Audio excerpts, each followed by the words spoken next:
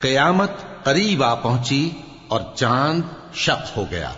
और अगर काफिर कोई निशानी देखते हैं तो मुँह फेर लेते हैं और कहते हैं कि ये एक पहले से चला आता जादू है। और उन्होंने झुटलाया और अपनी ख्वाहिशों की पैरवी की और हर काम का वक्त मुकर्र है।